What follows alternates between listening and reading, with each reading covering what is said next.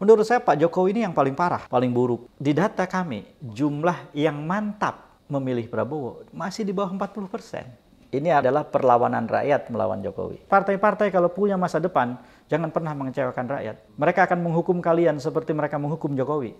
Jangan tinggalkan rakyat. Karena kalau tidak, nasib kalian akan sama seperti Jokowi. Masa Pak Jokowi akan berkhianat sama keluarganya? Terbukti di pemilu dia tidak berkhianat sama keluarganya. Dia lebih senang berkhianat pada negaranya. Jadi wakil presidennya anaknya, bisa jadi gubernur Jakarta anaknya. Sudah menang nih, Jokowi kalah 26 Juni. Jangan dikasih kendor, gaspol terus.